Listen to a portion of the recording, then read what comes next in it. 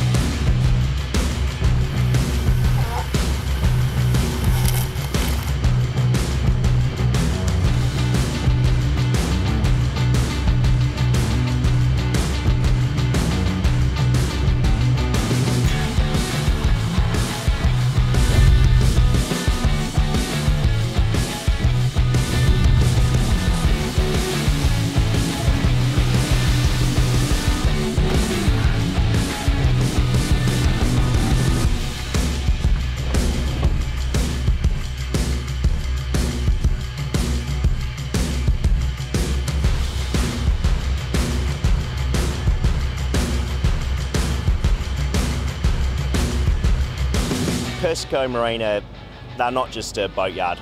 They, they have passion for the marine industry and they have passion for the Volvo Ocean Race. And that's why we love working with them. That's why we love anything to do with Persico Marine.